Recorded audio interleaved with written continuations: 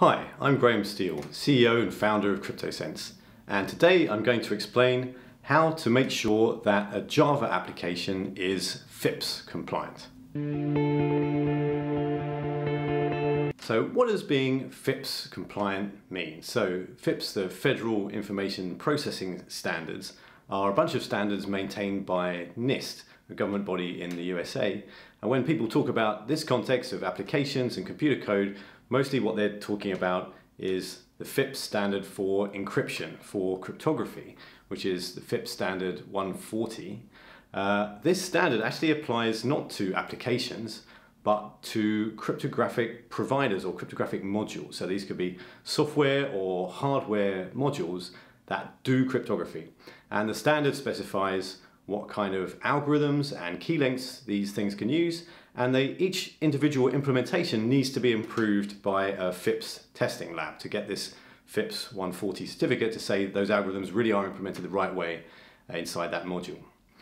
So when people talk about an application being FIPS compliant, what they actually mean most of the time is all of the cryptography that happens inside that application happens through a FIPS approved cryptographic module.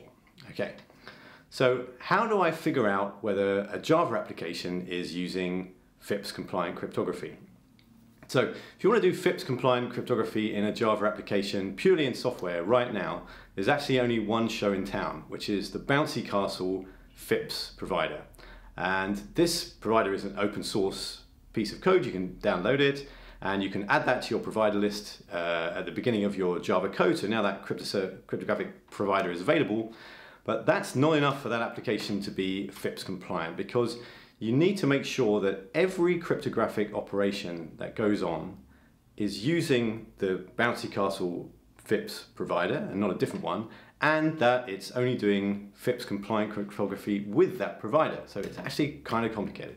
So one way you might try and do this is say, well, what I'm going to do is I'm going to get rid of all of the other cryptographic providers in my application. I'm just going to have the Bouncy Castle FIPS one, and then I can be sure that all my cryptography is happening through that provider because it's the only one in there that's great. But if you do that with any big existing application, what you'll probably find is that your application stops working. So why does it stop working? It stops working because probably inside the application, there's some middleware or some open source library, some little components that you're using that call the cryptographic provider, but to do something that's maybe not that important for cryptographic security. So a, a good example would be, it might call a fast hash function um, that isn't considered secure anymore, so some, a function like MD5, which is, is not FIPS compliant, but it's not calling that for a cryptographic purpose, it's just calling that to make a hash for some identifier or whatever it is. Uh, it's not critical for security that that's uh, a FIPS compliant function. And I still need to do that.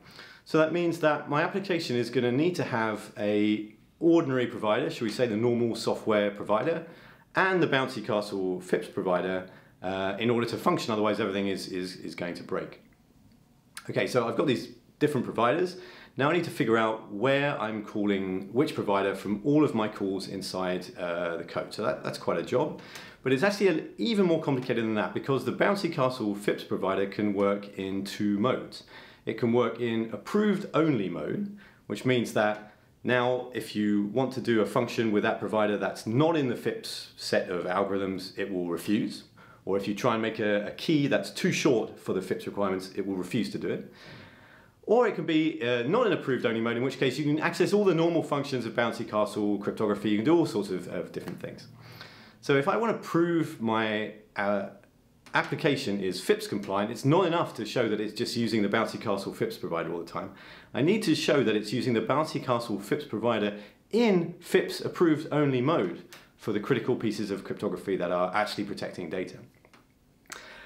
So how do you get the FIPS provider into FIPS only mode? Well, you set a global property, uh, that's fine, uh, but it's even more complicated than that because if you have set the global property to say use Bouncy Castle FIPS only in FIPS mode, and then you create a new thread in the code, the new thread doesn't inherit that property. So your new thread will be running with Bouncy Castle in non-approved mode. So it could in fact be doing anything. So if you want to prove that your application is using Bouncy Castle FIPS provider in FIPS only mode for all of those operations, you actually need to check every single time you call the bouncy castle FIPS provider to be sure that it's in FIPS approved only mode when it's responding to that request in order to show to your auditor that your application really is only doing FIPS cryptography. So this is a pretty complicated thing to do by hand. It's, it's not always possible to look at source code and know what provider is going to respond to a cryptographic request. It's a runtime property. Depends how things have been set up at runtime, how your particular Java environment is configured. Fortunately, CryptoSense has a tool that can do this. So the CryptoSense analyzer now has a rule which will check which provider was used for any cryptographic operation and whether that, if that was the Bouncy Castle FIPS provider, whether it was in FIPS only mode at the moment that was called. So what can you do? You can put the CryptoSense tracer on your application, run it, look at the report in the analyzer, and you can see every single cryptographic operation that you did which ones did and didn't use the Bouncy Castle FIPS provider and which one used it in FIPS approved only mode.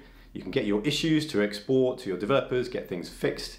And when you've got all of the critical operations covered with FIPS, you've got your artifact right there. You can show your auditor to prove that your Java application is in fact FIPS compliant. So if you want to see how that works, get in touch to you. The details below. We'll be very, very happy to give you uh, a demo on that. Uh, until then, uh, happy FIPS compliance checking and thanks for watching.